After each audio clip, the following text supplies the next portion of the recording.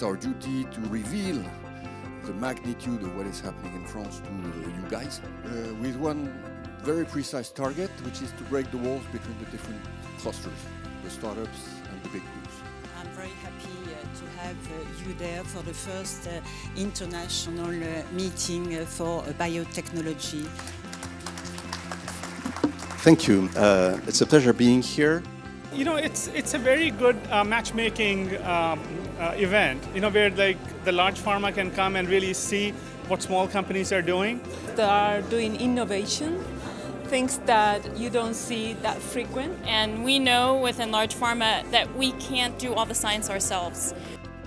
I enjoyed all of the presentations. Um, lots of interesting science, and I, I, think there are a lot, a lot of interesting opportunities. The fact that I saw a few that I never seen before were really striking to me. So I'm very pleased I came. Definitely, you know, it's a, it's a step in the right direction in getting all the people together. The variety of topics was really interesting, and the companies uh, are. Uh, each one trying to be original and there are a lot of interesting uh, ideas. The stem cells are new things that are very interesting. I was very impressed by the strong foundation of scientific knowledge. We will be pleased to meet you this afternoon to tell you more. Thank you.